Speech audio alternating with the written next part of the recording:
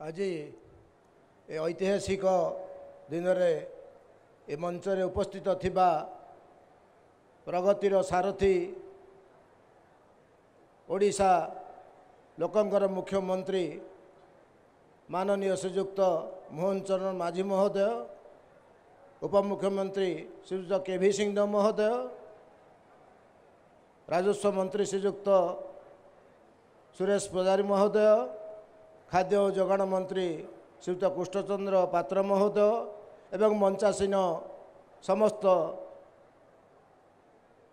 ବିଧାୟକମାନେ ସାଂସଦ ମହୋଦୟ ଏବଂ ସମସ୍ତ ସମ୍ମାନୀୟ ଅତିଥିମାନେ ସମସ୍ତଙ୍କୁ ଆଜିର ଉତ୍ସବରେ ଯୋଗ ଦେଇଥିବାରୁ ଅନେକ ଅନେକ ଧନ୍ୟବାଦ ଦେଉଛି। ମଞ୍ଚ ଆଗରେ ଉପସ୍ଥିତ ଥିବା ସମସ୍ତ ଚାଷୀ ଭାଇମାନଙ୍କୁ ମାଆମାନଙ୍କୁ ଯୁବକ ଭାଇମାନଙ୍କୁ ମିଡ଼ିଆ ଭାଇମାନଙ୍କୁ ଏବଂ ଏହି ଆୟୋଜନକୁ ଆୟୋଜକ କରିଥିବା ଆୟୋଜକ ମଣ୍ଡଳୀ କି ସମସ୍ତଙ୍କୁ ଧନ୍ୟବାଦ ଦେଉଛି। ସର୍ବପ୍ରଥମେ ମୁଁ ପ୍ରଣାମ ଜଣାଉଛି ସେହି ଅନ୍ନଦାତାମାନଙ୍କୁ ଯେଉଁମାନେ ମୁଣ୍ଡ ଝଳ ତୁଣ୍ଡରେ ମାରି ଶ୍ରମକୁ ପୁଞ୍ଜି କରି ମାଟି ମାଆର କୋଳରୁ ସୁନା ଫଳାଇ ଚାଲିଛନ୍ତି ଆମକୁ ଖାଦ୍ୟ ଯୋଗାଉଛନ୍ତି ଆନନ୍ଦର ସହ ମୁଁ କହିପାରେ ସେଇମାନଙ୍କ ମଙ୍ଗଳ ପାଇଁ ଆମ ସରକାର ପ୍ରତିଶ୍ରୁତିବଦ୍ଧ।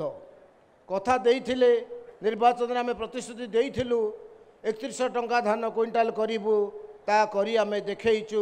ଆଜି ଆଠଶହ ଟଙ୍କା ଆପଣମାନେ ଏଇଠି ସାଙ୍ଗେ ସାଙ୍ଗେ ଓଡ଼ିଶାର ଚାଷୀ କୂଳ ସମସ୍ତେ ପାଇବେ।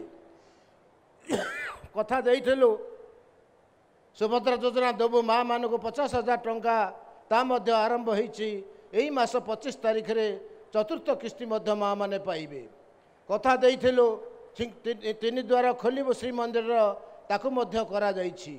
ତେଣୁ ଲୋକଙ୍କ ବିଶ୍ୱାସକୁ ପ୍ରାଥମିକତା ଦେଇ ମାନ୍ୟବର ମୁଖ୍ୟମନ୍ତ୍ରୀ ଶ୍ରୀ ମୋହନ ଚନ୍ଦ୍ର ମାଝୀଙ୍କ ଅଧ୍ୟକ୍ଷତାରେ ଅନୁଷ୍ଠିତ ପ୍ରଥମ କ୍ୟାବିନେଟ୍ ବୈଠକରେ ଆମର ଏ ସରକାର ଐତିହାସିକ ନିଷ୍ପତ୍ତି ନେଇସାରିଛି। ଚଳିତ ବର୍ଷରେ ଆପଣମାନେ ଚାଷୀ ଭାଇମାନେ ଦଶ ହଜାର କୋଟି ଟଙ୍କା ପାଇବେ ଏଥିରେ କୋଡ଼ିଏ ଲକ୍ଷ ଚାଷୀ ପରିବାର ଉପକୃତ ହେବେ।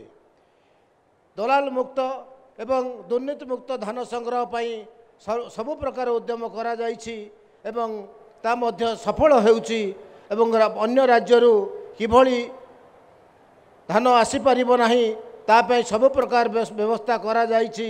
ସି ସି ଟିଭିଠୁ ଲଗେଇ ଆମର ଅନ୍ୟାନ୍ୟ ଅଫିସରଙ୍କୁ ମଧ୍ୟ ପୋଲିସ ବାହିନୀ ମଧ୍ୟ ନିଯୁକ୍ତି କରାଯାଇଛି ଯେଉଁଥିରେ କି ବାହାର ଧାନ ଏଠାରେ ପଶିପାରିବ ନାହିଁ।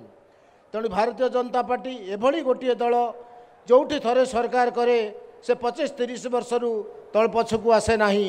ଆପଣ ତା'ର ପ୍ରମାଣ ପାଇଥିବେ ଗୁଜୁରାଟ ରାଜ୍ୟରୁ।